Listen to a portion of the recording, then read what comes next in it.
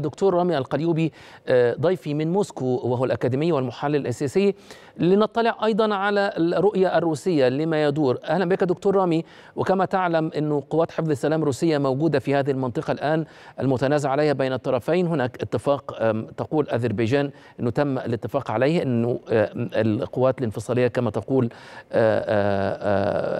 أذربيجان سوف تسحب معداتها. هذا الاتفاق تم برعاية روسية إنجاز التعبير. ما هي الرؤية الروسية لما وصلت إليه الأمور خصوصا أنه الكرملين كان يتحدث بالأمس قبل الوصول لهذا الاتفاق عن رغبة في أن يجلس الطرفان لعملية تفاوض هل يمكن البناء على هذه الخطوة الأخيرة؟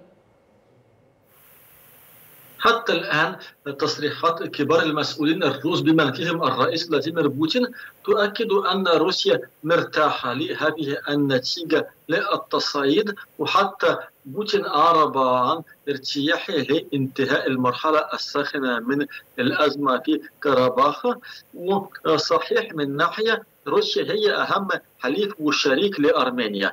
وهناك التزامات متبادلة في إطار منظمة معاهدة الأمن الجماعي ولكن بداية هذه الالتزامات هي تنطبق فقط في حال تعرضت الأراضي في العمق الأرميني للهجوم. بينما روسيا لا تعترف باستقلال كاراباخ وحتى بالمناسبة أرمينيا نفسها لا تعترف بكاراباخ كدولة فبالتالي روسيا لا تقع عليها أي التزامات هنا سوى أداء دور الحكم التاريخي باعتبارها الدولة الوريثة الشرعية للاتحاد السوفيتي بعد تفككه في عام 1991 بالإضافة إلى ذلك العلاقات الروسية الأرمينية اتسمت في السنوات الماضية بنوع من الفتور على إثر صعود باشينيان إلى سدة الحكم في عام 2018 على إثر الثورة المحملية وهو يعتبر من وجهة نظر موسكو سياسيا مواليا للغرب.